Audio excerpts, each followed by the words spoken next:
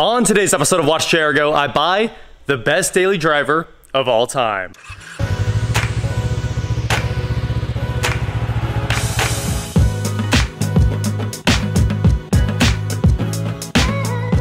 What is going on guys? I am Watch Go and today I am here with my new to me 2017 Chevy Volt Premier that I picked up from CarMax in Las Vegas. That's why I was in Las Vegas. I was picking this up and driving it home. It was a very long drive, but we're going to talk about that in the next episode. Don't worry, we will cover that uh, 13 to 1800 miles, whichever one it is, in a lot more depth than we will in this video. So stay tuned for that. Get subscribed if you want to know what it costs to drive one of these and what road tripping one is like. But today, like I said, we're going to talk about the 2017 Volt Premier, why I bought it, how it was impossible to buy, and then we're gonna go through it. I'll show you all of its features and quirks or something like that. So when the gas prices started going up three or four months ago, I started looking for a Volt to replace the truck as a daily. I've been daily driving the F-250 Platinum for a long time, and as you guys know, diesel is at least $5 a gallon everywhere, and it gets 14 miles a gallon. So it consumes your very expensive fuel very, very quickly. And of course, everyone knows that I had a first gen Volt. It seems like everybody watched those videos and they were all interested to see how the first gen Volt was. And that car was very good. Now, mine wasn't, it was a Premier, but it was never listed as, I don't know. It had basically all the options and it was a wonderful car that I drove for years and it really never did me wrong. So when I needed to replace the first gen Volt with something else equally as efficient, what could be better than the second gen Volt that is more efficient in every way? So the old Volt, solid, but this one is turned up to, I don't know about 11, but we'll say the old one was 8 and this one's turned up to a 10. So it has a 105 horsepower four cylinder. The old Volt had to run on premium. You could not run it on unleaded because it was uh, high compression. They lowered the compression in this one and it's a larger displacement. So it runs fine on 87 octane. That's combined with two electric motors. There's a 117 horsepower motor and a 64 horsepower motor, and all three of those can work uh, in tandem, it, well, series parallel is what they call it, with the Voltec system that runs this thing. It's very good. All the hybrid stuff works great, and uh, I've never had an issue with that and I put a ton of miles on this one and it's been awesome. The EPA claims the second gen Volt will get 420 miles of combined range. That's electric plus gas. And it's actually rated at 53 miles of electric only range. Now, when I bought it, I thought it had 70 miles of electric range. That's just what people have been getting with it. Uh, it looks like I'm getting less electric range than that already, but hey, if it gets 53, I'm gonna be very happy with that. Also, when I left Las Vegas with this thing, the gas mileage was pretty pitiful. It was like 34. It's almost 36 right now after putting some miles on it, which means it's getting closer to what it's rated at, which is about 42 miles a gallon. And the combined is like 106 miles per gallon E. That's uh, about 10 better than the first gen. I think that one was 96 or 98. So like I said, I started looking for the perfect Volt about four months ago. And second gen Volts are all over the map because there's the base model and then there's the Premier and then there's Premiers with options and there's base models with and without options, obviously. Exactly what you would expect from any car, but being an EV, you usually expect them to be simplified and there to be basically two price ranges. Not so with this thing, and of course miles are all over the map too, so it was hard to find the perfect one after about three months of looking, I'd basically given up and I was like, let's just buy any Volt there is, any second gen there is, and I'll be okay with it because it'll have CarPlay. Well, I quickly talked myself right back out of that. And I was like, if you're gonna buy another car that you wanna drive for a long time, just buy the right one. So after a ton of looking, I found a Premier with every option and the only option that I don't love about it is that it's the California emissions package. And the fact that it came from California created a huge problem buying it. So I bought this about a month ago from CarMax, actually more than a month ago, for $26,000. And it was in California. And there's a big issue with cars that are in California. You have to pay the sales tax on the car no matter what. If you live out of state in any other state, you don't pay the sales tax and you pay it when you get back to your home state. Well, in California, you have to pay the sales tax if you want to drive it off the lot or it has to be shipped out.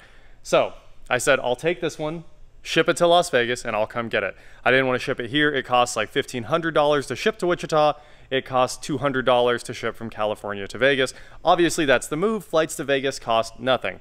$84 to be precise. So I pulled the trigger on that. I did all the paperwork. You can do all of it online, obviously. My second car I bought from them just because the financing's easy, everything's easy. It's just nice to do business with them. Also, CarMax will take care of the car if anything goes wrong, which is a huge deal. So I did that and it took almost a month for them to get the title.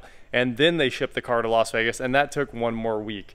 So, I mean, really the timeline's crazy. I've been waiting on this specific car for a long time. It was the cheapest Premier with every option that also had almost no miles on it. It has 39,000 miles on it, and it was everything I wanted. so I found the perfect daily driver, and it was a lot of, uh, I guess more of a lot of waiting. I was gonna say a lot of work. It was a lot of waiting to get it, and it's finally here. It has the best wheels. It's the right color. I don't really care about the color that much, but it's a good color. It has the right interior and it, like I said, all the options, including one option I don't want, which is the California emissions package.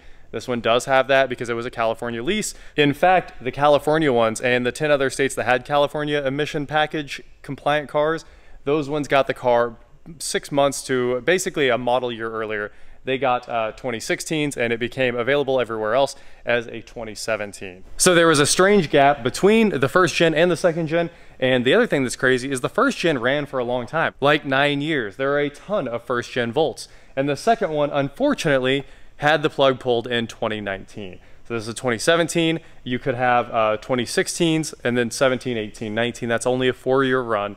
And uh, they also didn't sell it as as many rebadged cars. The first gen was rebadged to multiple cars, like of course the ELR, the Opel Ampera, all of those. This was really only rebadged to one of the Buicks and a Holden. There it is. That's the history of the second gen Volt.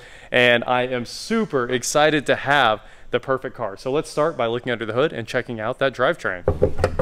Ooh, that is unbelievably clean. It is crazy having a car that honestly barely has dirt under the hood. It is so clean. This is the first time I've opened the hood on this thing, and let me tell you, it looks incredible. So there's some EGR stuff that's interesting. You don't see that very often. This must be the first O2, and then you can see the second O2 sensor, so there must be a cat shoved in right there. Uh, there's exhaust gas temp, which is interesting. Uh, EGR, I assume that's probably not on the rest of the US models.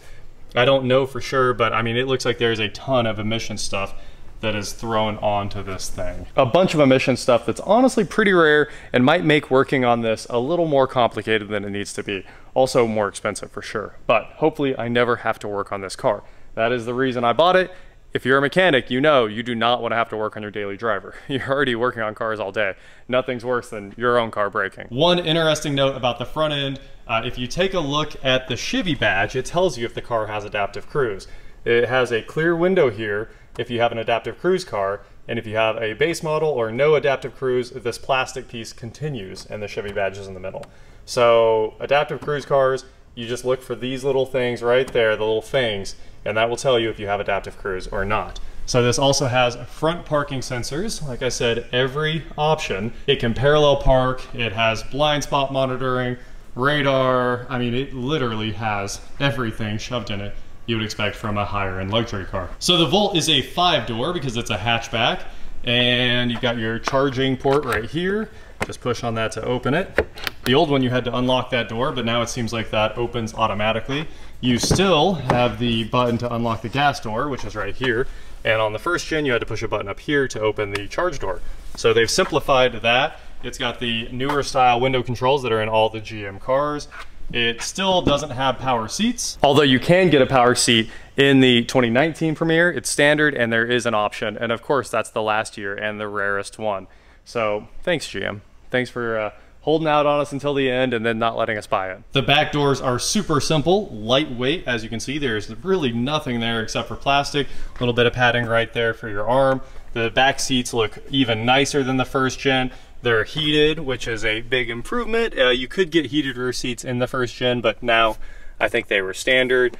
Uh, you got a 12 volt accessory port right there, two cup holders. This is new though. The old one had a console that would flip up and down, and this could not be a seat in the uh, first gen Volt. Now it's a seat or an armrest. The old one was like a permanent ski pass through. There was nothing here, and the armrest could be lifted out if you wanted even more storage. I didn't even have the armrest for mine, so now it's actually a seat, and they can all flip down. There's how they fold flat, 60-40, and it's honestly, I think this is a lot nicer than the first gen setup. Here's the rear hatch. It has incredible looking taillights. I was rolling behind one of these the other day and it was just absolutely beautiful. It kind of looks like the Halo sword, so that makes me happy, and it's just a nice red glow when it's going down the road. You can see the rear parking sensors from the back. Uh, you can see the backup camera right there, something my first gen didn't have, the later ones did. And the reverse light used to be a big single on the first gen, and now it has normal reverse lights like every other car on the road. Plenty of storage in the back. I mean, the Volt can basically be a truck once you flip the seats down. It just has a massive amount of interior volume being a hatchback. Super useful in here. You can see the factory 110, 120 volt charger is hiding right in there. And under here, we should have the inflator. There's the 12 volt battery. I'm sure it's stock because it's maintained by the uh, hybrid uh, like 400 to 12 volt converter. So the car battery never really goes bad in your Volt really any EV because it's always being maintained to perfection. Uh, the inflator for the tires should be right there, and here is the cargo cover. It looks like it's never been used, which is cool. Over here in the corner, uh, you can't see much of it, but that is the Bose subwoofer, and it gets after it. It's a good little subwoofer. So that's the hatch. The split glass is also gone. If you remember the first gen, everything from here down was glass, uh, kind of like an old CRX. And it's kind of like it just doesn't work. The Aztek's exactly like that. Obviously, I have the Aztek. It has very poor rear visibility with its split glass. Uh, I'm glad it's gone on this one because the rear visibility is just fine and you don't end up hunting between the glass with your eyes. It's really more of a distraction than anything. I get it, it's a nice design element, but it's a lot nicer without it. Gas door right here. They also added lock and unlock buttons to every door, which is a massive improvement. Thank you GM for that one. Uh, pretty much all the cars that had prox keys used to only have it on the front and now everyone's starting to put it on every door where it belongs say you know you're putting your groceries in the car and you need to unlock the back door you had to go up here and push the button and then go back to the back not to mention you probably had to push the button twice. If you use the driver door, it only unlocks one, and then the second one is the second press. So it's so nice to have it on every door. Over here on the passenger side, everything's pretty simple, but we'll take a look at the glove box. I haven't actually looked in here myself, so I don't know what's in here. Nice, more HOV lane stickers. These, uh, I'm gonna take them off, obviously, but it's cool to have them if you need to get in HOV lanes anywhere else, you can pretty much get away with it with this. Wow, here's the window sticker from when it was resold as certified pre-owned. It sold for $20,000, but that was two years ago, basically, when cars were, they just hadn't appreciated to the levels they have today. I sold my old Volt for $8,000. It's now worth $11 to $12,000. So Volts have skyrocketed because everybody wants them. The factory manual is still in there in the bag, 2017, MyLink Entertainment System, there's the manual. So that's the glove box, nothing to it. So now we've been over all the usual things, let's start getting into the fun stuff. The cool additions to this car, I can just hit them all right off the bat, are adaptive cruise, obviously a huge deal. Auto high beams, another huge deal. It makes your life much simpler while driving. It has lane keep assist, so that'll bounce off the lines. It won't steer straight down the road, but it'll bounce off the lines. It has a heated steering wheel, which was added for the Gen 2s and is super nice.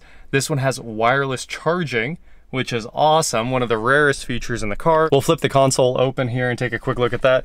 The wireless charger is right there. You slide your phone in like this. It sits straight up and down. You can't close the lid once your phone's charging, but it does work. And if you're in an emergency, like I was when I picked up the car, it'll charge your phone. So what a lifesaver. I've already filled the console up with napkins. It doesn't have much room in there at all. So that's just what you get to deal with.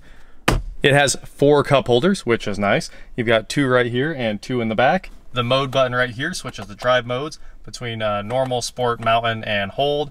You've got your front parking sensors or parking sensors in general right there. This is self-park traction control and your usual Prindle except for the L is low in the Volt, which means full regen. If you drive in low all the time like I try to, as soon as you let off the gas, it just dumps it right into the regen. It feels like you drove into a lake, but it's a lot more efficient and will help you use all the regen you can coming to a stop. Hazards are right here. Electronic parking brake. You've got two USB A's down here, one there, one there, a aux port in the middle, and 12 volt accessory right there. The shifter is actually pretty cool. It has the old Voltec design and the little waves that are on the uh, front bumper, engine cover, stuff like that. Moving up the console, before we come back, you've got an auto dimming mirror. You do not have HomeLink. I don't know if that was an option or not Uh, it wasn't in my old one either. Plus, it's built into CarPlay now since, you know, CarPlay controls your garage door and when you get close to your house, it automatically pops up.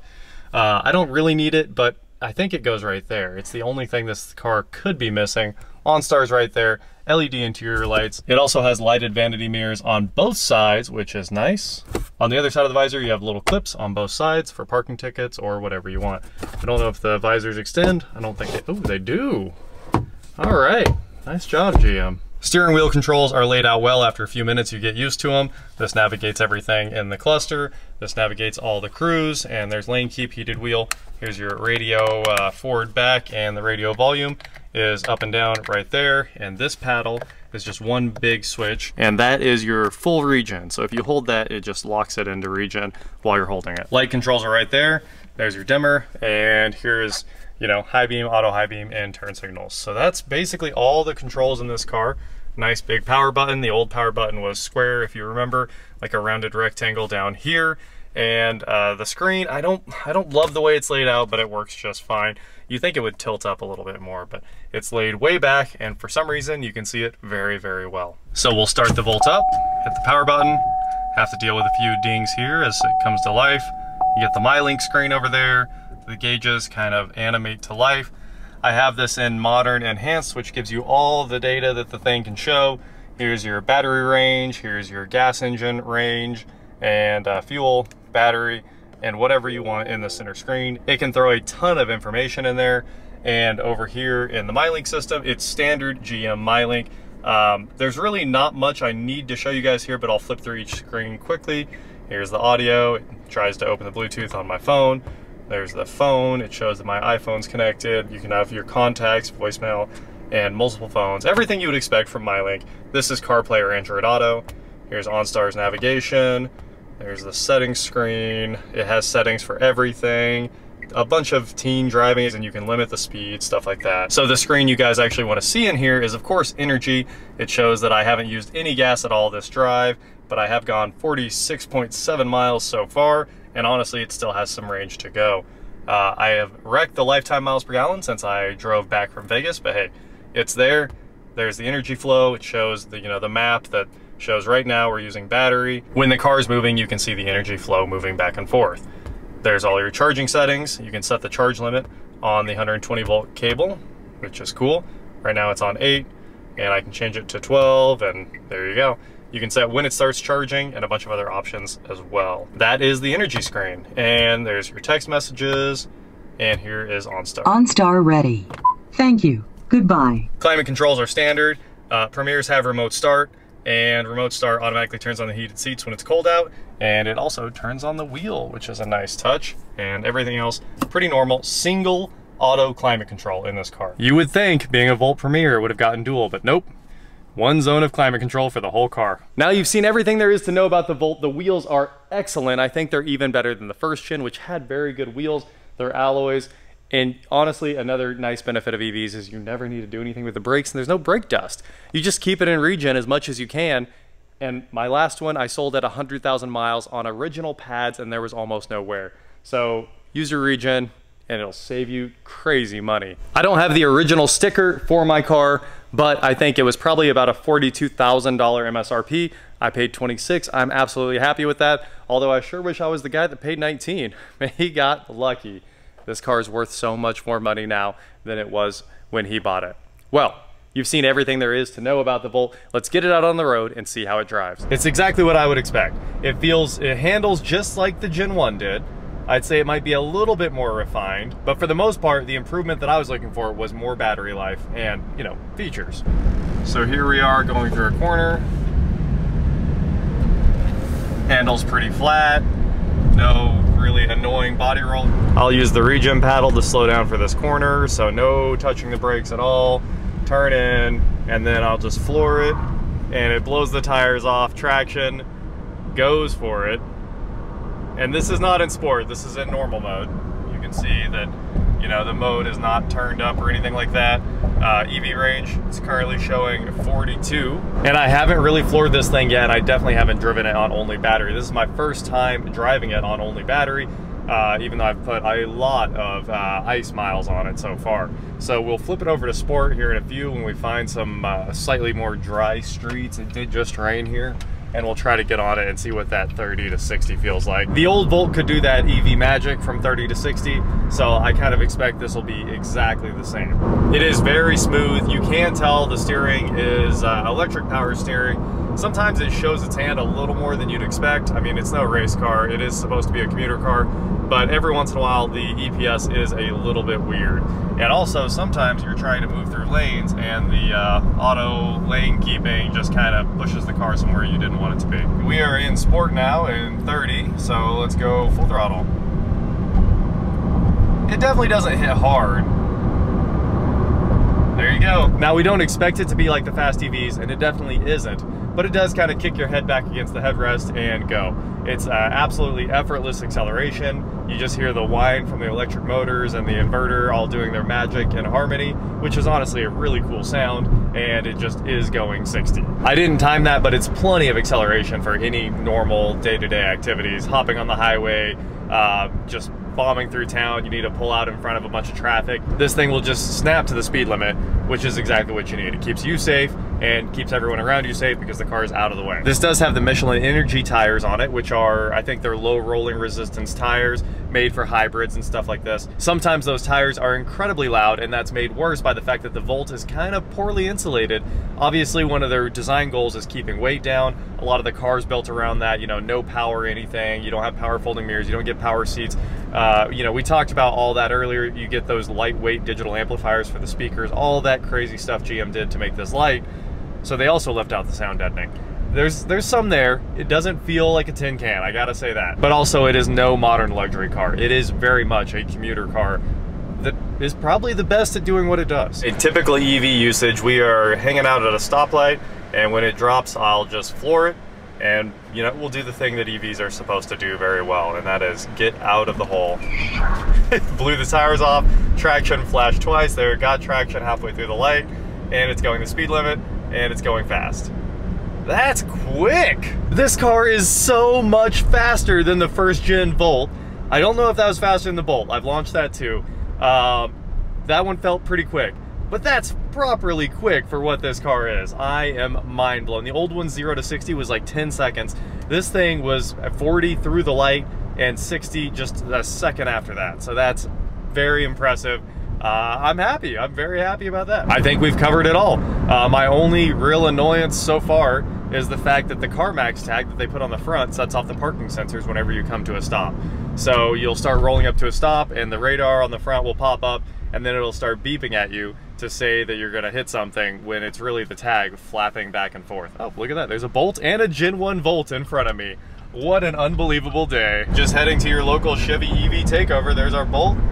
And my, basically exactly my old Gen 1 Chevy Bolt is in front of me. If GM marketing was around, they'd have a helicopter to get this shot and it would be epic. When you're pulling up to a light in the Gen 2, you'd expect to be able to use this paddle, the regen paddle here, to one pedal drive. And unfortunately, you cannot one pedal drive the Gen 2 Volt. You couldn't in the one either because GM really built the Volt to be the transition car for people moving from gas to EV. In the process, I think they built the perfect car, but the reality is they didn't give it a lot of EV features. I'd love to be able to let off the gas right now, have max regen, so I'm uh, holding the paddle to, not actually not even yet. Okay, there's the paddle and we're down to two mile an hour and then you'll feel the regen let go basically.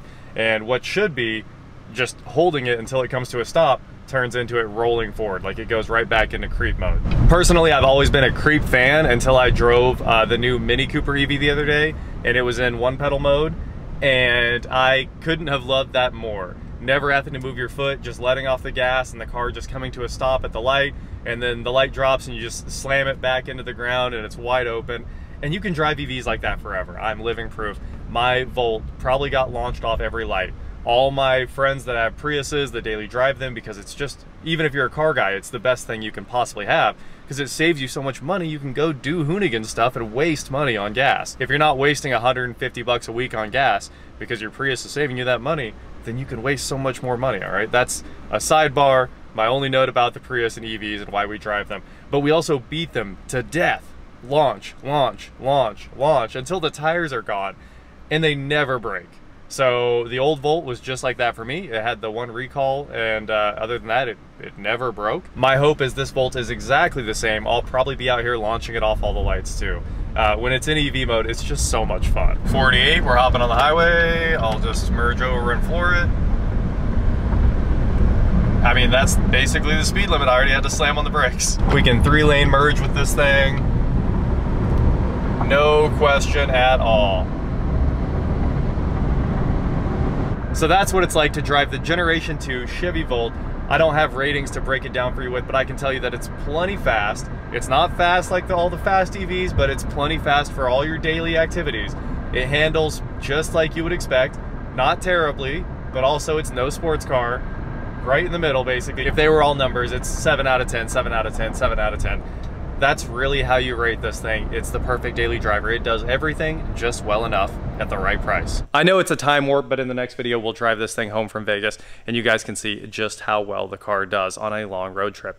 That is it for today, guys. Thank you so much for watching. Don't forget to head on over to shop watchjrgo.com for cool shirts, not like this. And please like, share, subscribe, do whatever you want to do and I will talk to you next time. All right, let me know in the comments below. Did I kill it? Do you think I bought the best daily driver? I am very excited about this and I don't think it's going anywhere for a long time. In fact, I might actually sell that truck because diesel's only going up. so it might be time for a different truck altogether and this one is going to take over daily duty for a while. And luckily I can throw whatever I want in the back. I just, I might need to buy some WeatherTechs so I can get it dirty.